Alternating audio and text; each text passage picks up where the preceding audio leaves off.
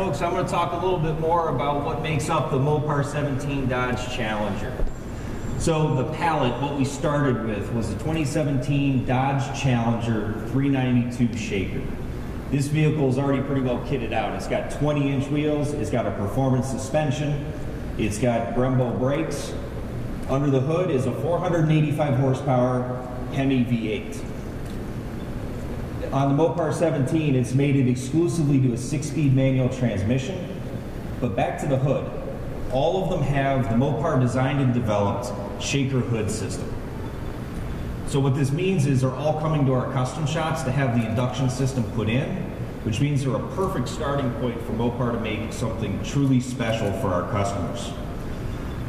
The first thing you're going to notice is obviously the striking paint job. So what we start with is either on my left, we have the contusion blue with pitch black upper, or the billet silver in pitch black combination. These come to our custom shop, and you know this is not a normal production car paint job. It's very important to understand when we get this vehicle in, in the Mopar custom shop, we hand lay out the paint, the, the, the, the masking, we hand apply the paint, and then we polish and buff to a show car shine. As a matter of fact, if you look over here, we even put in on the sides, we put the 392 emblem with a Mopar Omega M uh, flipped over to the side. That's even hand painted interesting story when these came to our, our, our, prep shop ordinarily vehicles go somewhere before they come to the shows like this so they can be brought up to absolute perfection. The guys called us and said hey what do you want us to do with this thing? It's absolutely perfect the way it is don't touch it. Put it in the corner. We don't don't mess with it. Just when it gets ready, dust it and bring it out. So this is what's actually this is representative of what's actually going to be in our customer's driveway.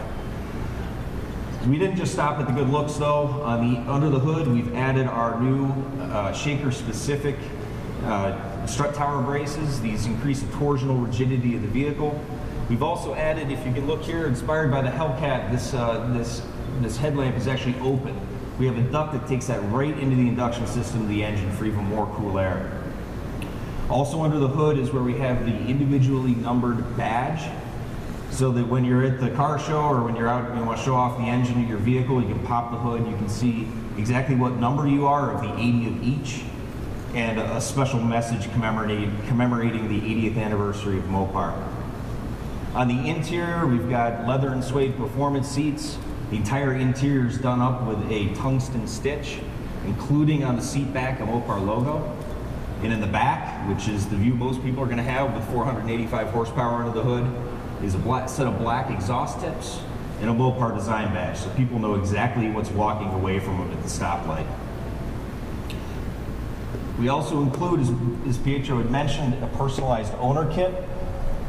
We have an example here for pictures after the fact.